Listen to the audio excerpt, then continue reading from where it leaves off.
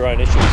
Yeah, yeah, we've uh, it looks like blowing a head gasket. So um, luckily enough, there's two short stages, and uh, the engine over temperature alarm came on as we were sitting waiting for that last stage. We managed to get some bottles of water and, and put it in the engine, so we got through that stage okay.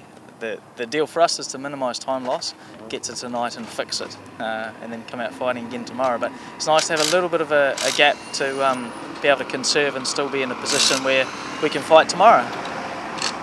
What have you done? I mean, I, I know you, I know you're a good peddler. There's no question about that. But you have done some serious work to this car to be to have the kind of lead that you've got.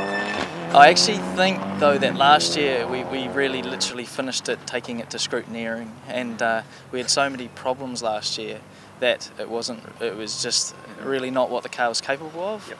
Um, it goes really well. It's got you know it's just good federal tyres and and little bits and pieces that just make it nice to drive. The sequential gearbox just gives you confidence to to really push and if you need to and you really need to get slowed down, bang down a couple of gears and it's no drama. So if you can try and carry some confidence, then you can do some good times. So uh, let's not forget Tony was learning a new car.